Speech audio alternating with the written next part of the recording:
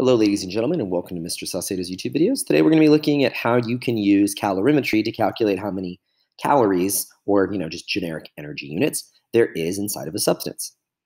So let's talk about calorimetry. So this is a simplified diagram of a calorimeter, and then this is like a fancy one that dietitians would use. It's called a bomb calorimeter. So what is a calorimeter? A calorimeter is a device that measures the heat of a reaction. It's, you know, calorie is really right here in the name. And then meter is something that measures something. So it is a calorie measurer. And calorie gets its name from the Latin word for heat. So it is the exact same device, like I said, the dietitians use to figure out how many calories are in the food that you eat. So uh, in other words, you know, if you've ever looked at the back of a nutrition label and you've seen, you know, oh, this has this many calories, and you've wondered, how do they know how many calories something has? This is kind of what they do. They grind up the sample, they pump in oxygen, and then they burn it until there's nothing left but ashes.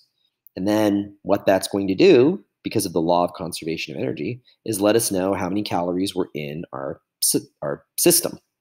So, like it says, the principle behind a calorimeter is the law of conservation of energy. So here's the deal, right? Let's say I have, you know, I don't know, a hamburger, and I want to know how many calories are in this hamburger. It's really, really hard to measure the energy in a system okay especially if that system is as complicated as you know all of the little bonds and stuff that are in muscle tissue that make up a burger and fat right? So instead it's easier to take that energy that you are looking at in the system and transfer that to the surroundings. So for example in this example uh, picture here you have a little sample. So let's say that's our ground up hamburger, okay? So if you burn this, okay, this is our system, let's say, the surroundings is, is pretty much everything else. And so this container contains water with a thermometer. And so that energy theoretically is going to be going from this as it burns to this water. And it's going to raise the thermometer up a little bit. And as that, you know, I almost said mercury. My goodness, we don't use mercury anymore.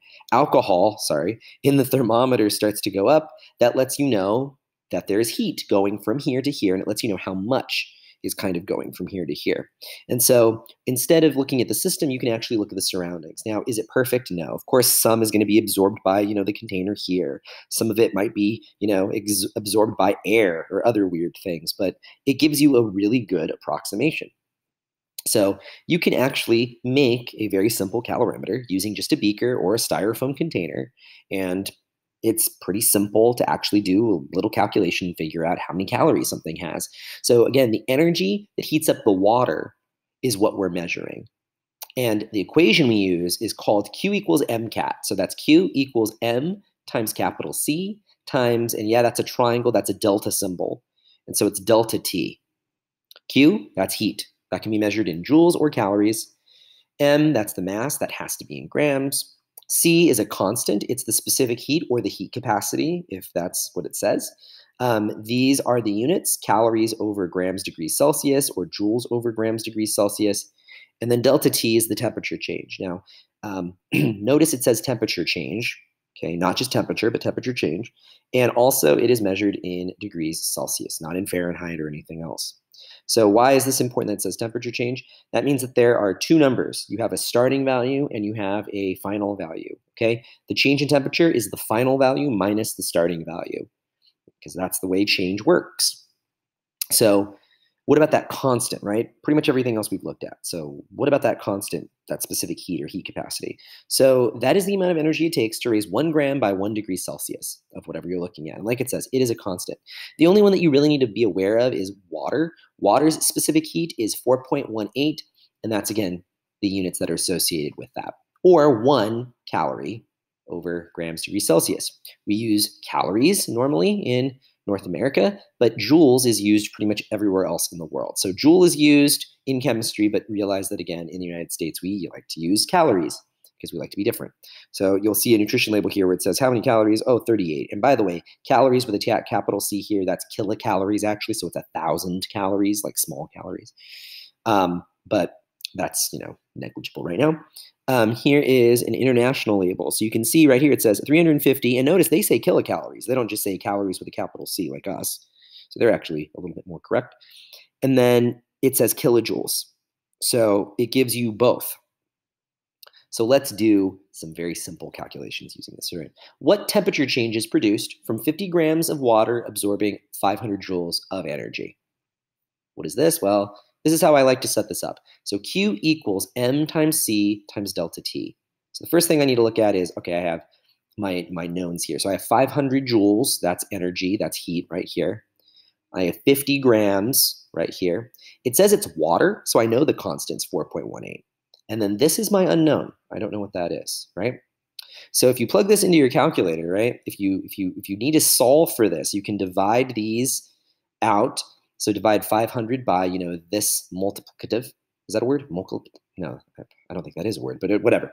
50 times this, uh, you get a number, and you do 500 divided by those two numbers, and you get about 2.39 degrees Celsius. Okay, that's about right. So if you plug this into your calculator, 500, and then you divide by this um, product, you should get 2.39.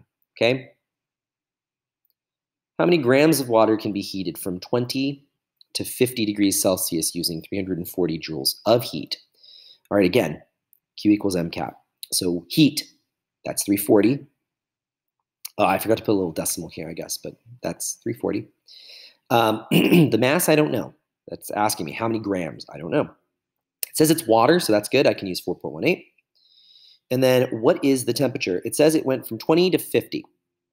So remember, you have a final value and you have a starting value. That's what temperature change means. It's not just temperature, it's temperature change. So how do I go from 20 to 50 degrees? How many degrees is that? That's 30 degrees. To go from 20 to 50, that is 30, okay?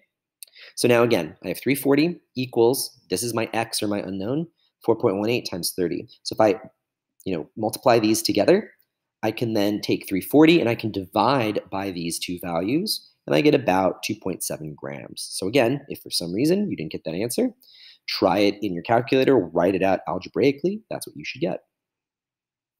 Last but not least, the heat capacity of aluminum is 0.900 joules per gram degree Celsius. How many joules of heat will be absorbed by a 10 gram block of aluminum if you heat it up by 15 degrees Celsius? All right, so it's asking me for the joules of heat. So Q equals MCAT. The Q is actually what I'm looking for. What is the mass according to this? 10. So 10 grams, and that should be 10.0. Okay, I want to be consistent. What is the heat capacity? This is not water. It is aluminum. So aluminum, they have to give you the heat capacity. Okay, that's different. And then um, temperature right here. It says 15 degrees. So 15 degrees. And again, that should be 15.0 if I'm being consistent. So all I have to do, this is kind of nice, is 10 times 0.9 times 15, and I get about 135 joules. All right, so that was it. That was Q equals MCAT. If you have any questions, let me know.